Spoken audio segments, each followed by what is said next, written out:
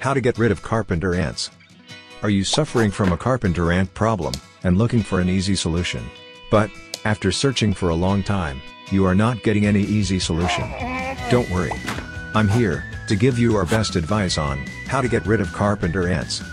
This video will tell you, how to finding the nest, removing the ant population, and ensure they don't come back. So, keep watching. Get your solution.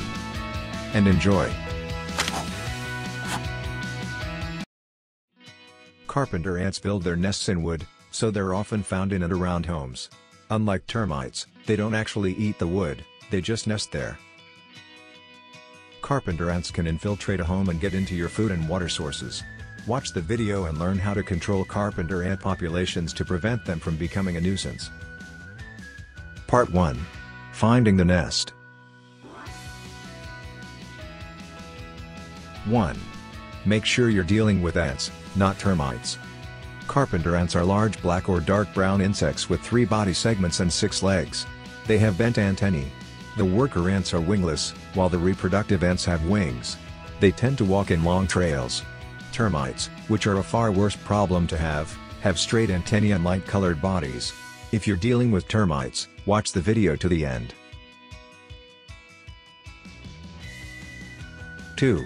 Look for frass.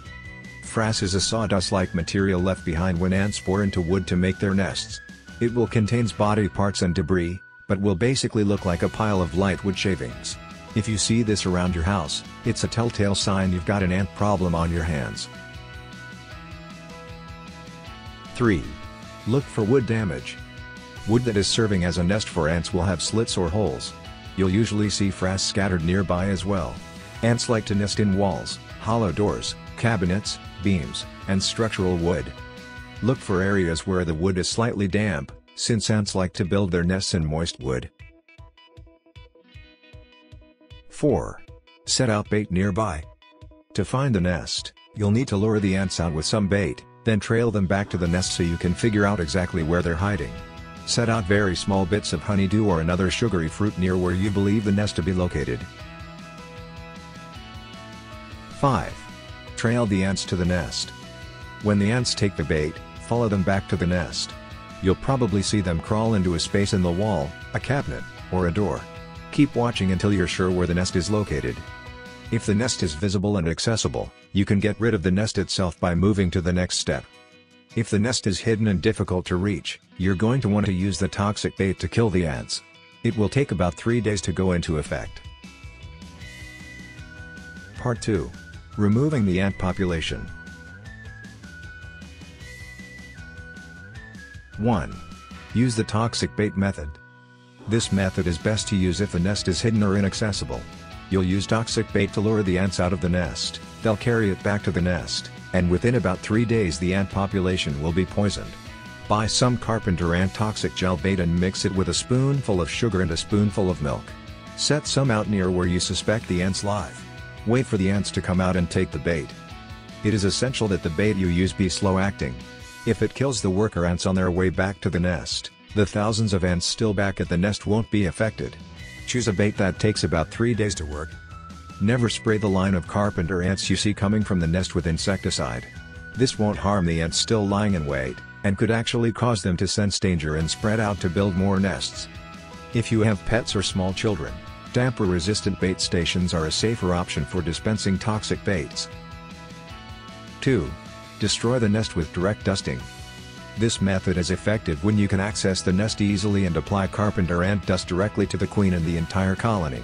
Choose a carpenter ant dust and follow the instructions on the package to apply the dust to the nest. Diatomaceous earth is a natural, non-toxic dust that can be used to kill carpenter ants without bringing poisons into your home. Other chemical dust such as delta dust and Drione pest insecticide dust is also effective, but it does contain toxins and could pose health risks to pets and children.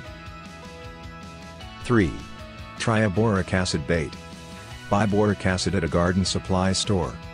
Mix with powdered sugar, in a ratio of about one-third sugar to two-thirds boric acid. Fill bottle caps with the mixture. Set down around the area where you observe the ants. When they return it to the nest, it will kill the ants in the nest. Boric acid penetrates the ant's body and dissolves inside of the ant.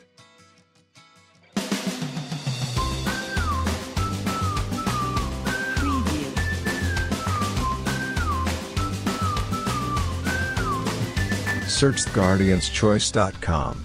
We are always ready to help you with the right information. Part 3 Preventing carpenter ants from coming back. 1.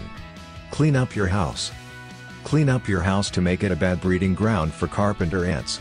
Do this by cleaning floors well, fixing any leaky faucets that might dampen wood, and removing any clutter that creates shelter for them. 2. Seal your house. Use caulk to seal your foundation and cracks around doors, windows, and any other areas where ants could get into your home. Install screens on your windows and doors. 3. Remove natural debris from around the home.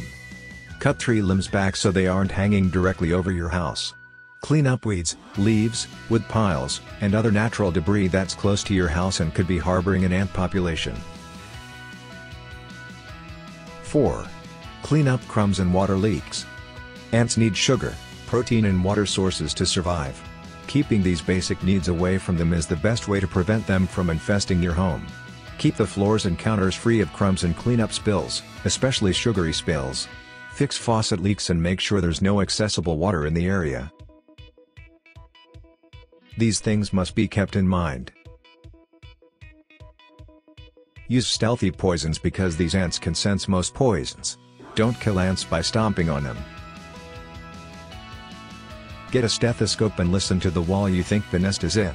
You will hear a scrabbling sound that sound like a rustling or tapping sound if ants are near. Keep poisons away from children and pets. Thanks for watching. Subscribe now, and press the bell icon. Never miss an update, from the Guardian's Choice Official.